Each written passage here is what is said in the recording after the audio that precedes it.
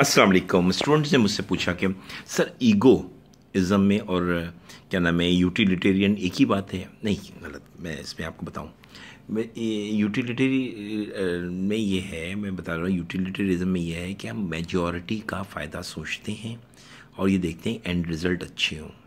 मिसाल के तौर पर मेरी बर्थडे हो, मैंने ही ख़र्चा करना है और मेरी फैमिली क्या है कि मैं पिज़्ज़ा खाएँगे, सब पिज़्ज़ा खाएँगे और बड़ा हँसी मज़ाक माहौल होगा।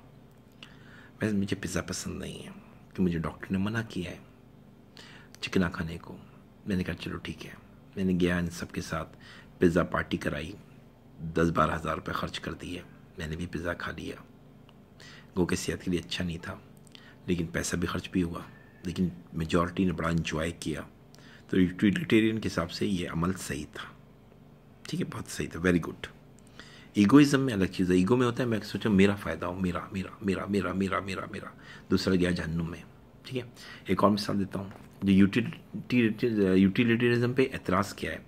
यूटिलिटेरिज्म पे एतराज़ ये है कि जब जो बम मारे अमेरिका ने मारा नहीं गलत तरीका तो गलत है। अब ये कहें कि कुछ लोग मर गए, लेकिन बहुत लोग बच गए जंग से। भाई, मरे तो नुकसान तो हुआ। मैं मिसाल देता हूँ। मैं एक डॉक्टर हूँ। मुझे एक दिल लगाना है। एक दो किडनियाँ लगानी है, लिवर लगाना है। मेरे पास पाँच पेशेंट हैं। मैं करता ये हूँ कि एक, बेचारा भिकारी आ जाता है मेरे पास, पैसे मांगने में सोचता है तो सर, ये तो बेचारा भिकारी है। इसकी ज़िंदगी बेकार है। ना इसका बीवी, ना बच्चे, ना माँ बाप कोई भी नहीं, यतीम है। ठीक है ना?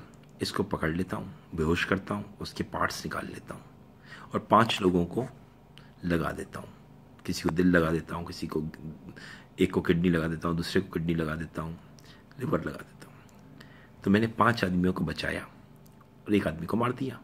यूटिलिटेरियन के हिसाब से मैंने बहुत अच्छा काम किया, लेकिन और डिओंटोलॉजिस्ट के हिसाब से बहुत गलत काम किया। वो कहते हैं एक्ट सही होना चाहिए। रिज़ल्ट जो भी हो एक्ट गलत है। क्रिमिनल काम किया। और डॉक्टर साहब ने बहुत गलत किया। समझ में आ गया? तो यूटिलिटेरियनिज्म पे एतराज़ भी हो तो अच्छा लिखिएगा।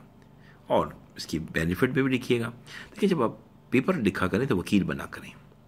आपका क्लाइंट है यूटिलिटेरिज्म उसकी तारीफ़ करनी है तो आप उसके फेवर में ऐसे आर्ग्यूमेंट्स लिखें।